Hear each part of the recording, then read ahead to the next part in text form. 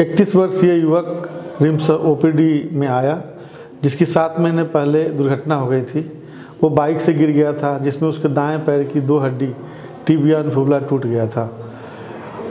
उस फ्रैक्चर को ठीक करने के लिए एक प्लेट लगाई गई थी, जो जो जो ऑपरेशन बाहर के किसी अस्पताल में हुआ था।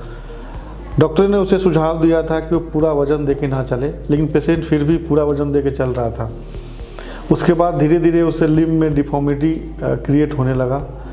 वो रिम्स ओपीडी में जब आया, वो डिफॉर्मिटी लेके आया था।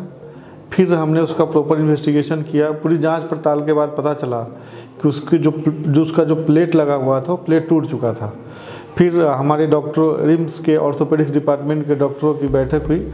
उसमें ये डिसाइड किया गया कि उसका ऑपरेशन किया जाएगा, उस प्लेट को निकालेंगे, फिर दूसरी ऑपरेशन करेंगे।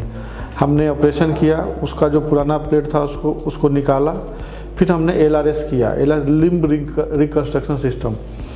Operation सफलतापूर्वक संपन्न हुआ, पेशेंट अभी पोस्ट ऑप में है और उसे अभी दर्द भी नहीं है और उसे अब डिस्चार्ज कर दिया जाएगा।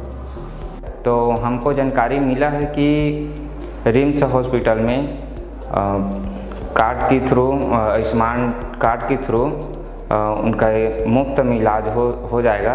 तो हम यहाँ आए थे और बड़ा भाई को दिखाए, उनका पैर दिखाए तो डॉक्टर ने बोला कि उनका पैर ठीक हो जाएगा ऑपरेशन के थ्रू तो यहाँ हम मुफ़्त में इलाज करवाए हैं और ऑपरेशन हो चुका है, ठीक हो गया है। लाइक, शेयर, सब्सक्राइब करें। इलाज कहीं भी करवाएँ, हमारे चिकित्सकों से फ़ोन पर किसी भी बीमारी का निशुल्क परामर्श व होने वाले वास्तविक खर्च की जानकारी लेना ना भूलें।